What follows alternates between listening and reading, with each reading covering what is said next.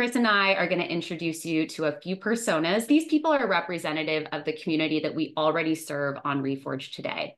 And we're going to show you how these different personas might navigate our ecosystem as Reforge members. So kicking us off here, meet Emily. Emily is an APM at Quantum Leap, and she recently joined the team here. And in her second week at Quantum Leap, she's been tasked with writing her first product spec for what ChatGPT calls an innovative quantum algorithm.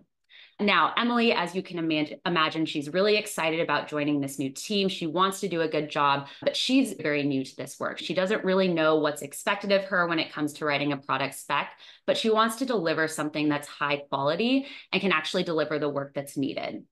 So luckily, when Emily joined Quantum Leap, she also became a member of Quantum Leap's Reforge subscription. So she logs into her account. From here, she starts to get the sense that there is a ton that can be helpful to her as she's getting started at work, but she's not quite sure yet where, where to start. And so she starts with kind of what I think most of us would by asking a question in search. Now, our search bar has always existed as a part of the Reforge uh, experience, but it's now powered by OpenAI.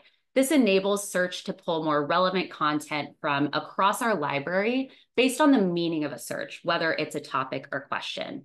So maybe Emily asks something like this, how should I write a product spec? She asks that question and then search does the work of scanning our entire library for course content and bite-sized content that can help her solve that problem. Now, she gets to this results page. She sees that there's a ton here that potentially looks interesting. She definitely wants to get back to this first piece of content, which looks more instructional. But what immediately catches her attention is this section here called artifacts. So she clicks into one. Now, an artifact is a real example of the work done by others. These are created by operators who have solved problems similar to the ones that you might be facing in your work. So this artifact is a product story equation at Sprinklr. It was created by Vikram when he was a senior design director at Sprinklr. Now, Emily may not know what Sprinklr is or even what a product story equation is, but she can use this summary at the top and these tags here to very quickly get a sense for whether or not this is going to be relevant to her work and her team at Quantum Leap. Now, let's say that she decides this looks promising. I want to take a closer look. She starts to scroll down. Emily very quickly gets the sense that this is very in-depth work. This is not a template. This isn't the same as something that you would find on LinkedIn, right? These are the details that Vikram thought through and developed on his time while he was working on this problem at Sprinklr. The other thing that Emily notices is that she's able to click on annotations that Vikram has added in explaining why he did certain things in this artifact. So Vikram starts out by defining some basic definitions for, for product and other terms that he'll talk about later in the doc. And he explains that he does this because on his team, people were using the same language to refer to very different things. And so aligning on the same definitions up front was really important. Emily continues to read and she's starting to get a sense of kind of the shape her product spec should take, right? It should include the outcomes she wants to drive, the user stories that she's trying to solve for, and how she's going to measure success. All really helpful in starting to give her a more concrete picture of what she's trying to build here. Now, Emily reads through this artifact. It seems promising. Now she's ready to start building this out herself. So she goes back to her search results and clicked on this first result, up level your product spec. She realizes that this is also a new piece of content called a guide. Now, guides are step-by-step -step instructions on how to do things that make you more effective in your role. At the top here, she can see that this guide in particular includes four different steps. It should take no more than 15 minutes for her to skim through. So again, feels like a kind of low time investment to really level up on how she's gonna build out this first product spec. Emily starts reading through. She realizes that she can skip around to different parts of the guide really easily. She also discovers that as a part of this guide, there are multiple examples listed to help her figure out how she can apply these instructions in her work. For example, one element of the product spec that this guide talks about is defining the opportunity. Emily says, That sounds great. What does that actually look like? And right here, she's able to toggle into an example that this creator wrote for his project at NoteJoy. Emily's reading through this guide. She feels really good about what she's trying to build out with this product spec. And at the bottom, she sees links to other artifacts that show how people have applied this guide in their work.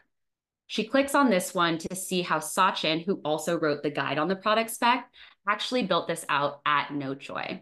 This time when she looks at this artifact, she's ready to start using it to get her product spec started.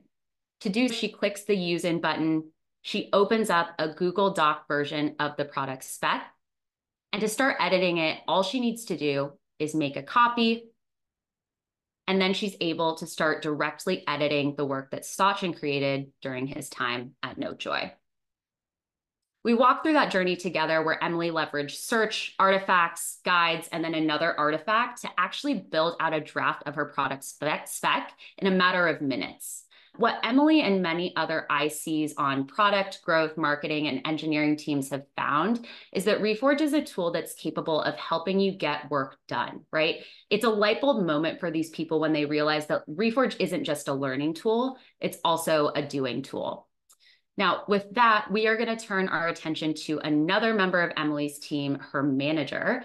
So, Chris, I'm going to stop sharing my screen. I'm going to let you share and take us through David's journey. Awesome. Thank you so much, Ellen.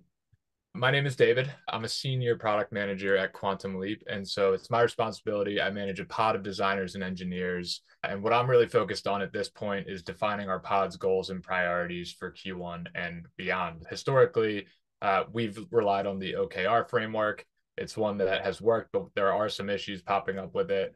So I'm going to use Reforge in a similar way to Emily However, the altitude at which I need uh, Reforge to help me has changed. So I'm going to come into Reforge.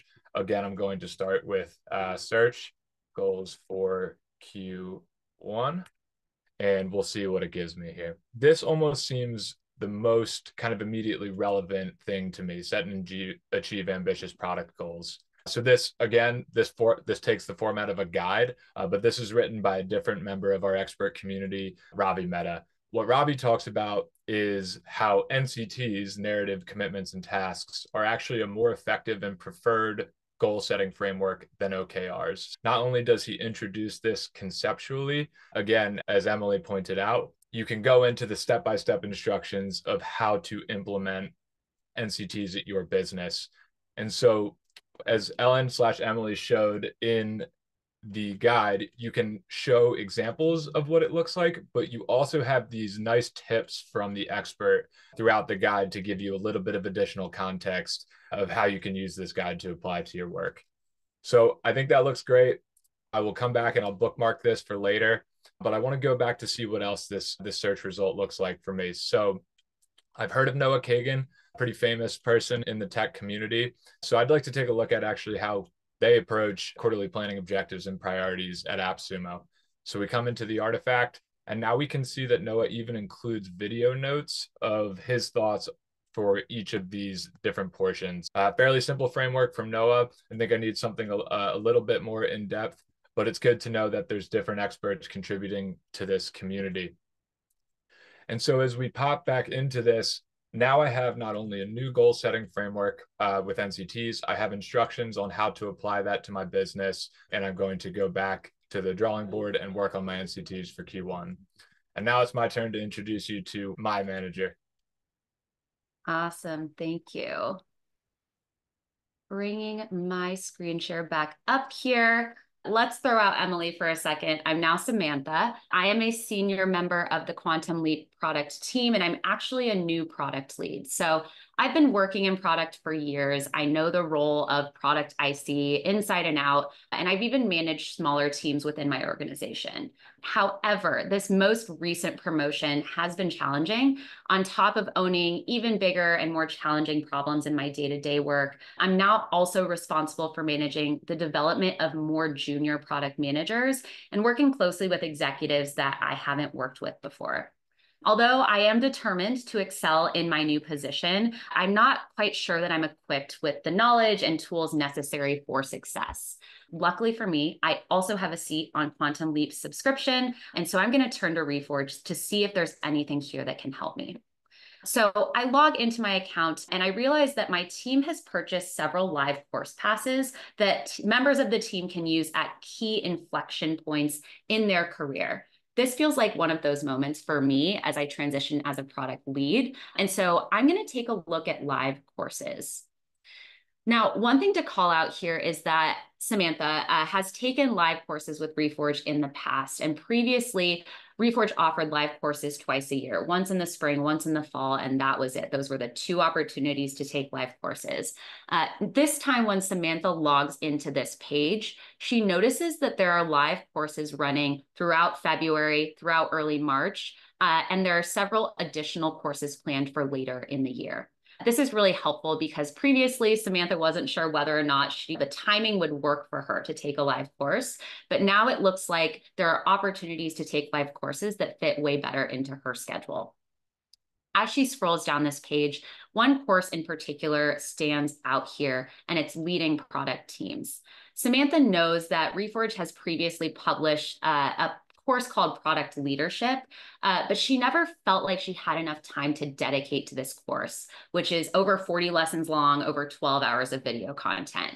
Um, but when she scrolls down and reads more about leading product teams, she sees that this course is only two weeks long. There are three events that she can attend, as well as optional office hours. But this two week commitment feels very manageable alongside her work and other life commitments. So Emily's or Samantha, excuse me, is excited about this course. She decides to enroll using a live course pass and she gains access to the live course landing page. Here she can find everything she needs to successfully complete the course. At the top here, she can read through a note from Ravi, the course creator, on why he created this course. She can understand what she can expect to learn over the next two weeks. And she also gets more information on the subtopics that will be covered and the expectations for the live events. Now, when she scrolls down this page, she sees that the content and events are broken up by week, so in this first week, she receives several step-by-step guides that she can start reading through to level up. So this one is about assessing her team's PM competency model. It's two steps long, it's 12 minutes. So again, pretty light commitment in terms of the amount of time required to get through this content. Again, here as she's scrolling through the guide, she finds tips and examples. And at the bottom here, she finds links to artifacts where Ravi has included work he did around product competency models during his time at TripAdvisor. So again, all of this is really helpful for giving Samantha a sense of what a great competency model looks like and how she can start to bring that back to her team at Quantum Leap. Uh, Samantha then sees that she has access to an upcoming live event. Uh, in previous live courses that Samantha attended, the live events were very much structured around case studies. They were largely a conversation between the course instructor and a featured guest, but she sees that this one is going to be a workshop. It'll give her the opportunity to bring her questions and her problems that she's tackling at Quantum Leap to the rest of the group to get input from her peers and from the course creator, Ravi. She also sees at the top of this live course page the opportunity to join her peers and Ravi, the expert who created the course, on Slack. She does this and is able to engage directly with Ravi outside of events on how she can start to apply this content to her team at Quantum Leap.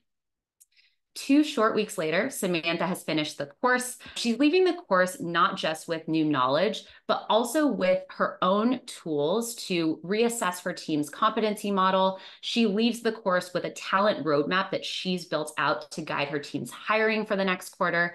And she's also leaving with a few new connections to product leaders at other companies. And they plan to stay in touch as they all go through their own transitions into leadership. Samantha's journey is one that looks very different from the live courses journey that Reforge has previously offered. It's a journey that leverages the best parts of live courses, the live time, the access to peers, the access to experts, but delivers it in a way that makes it possible to balance this learning while also working.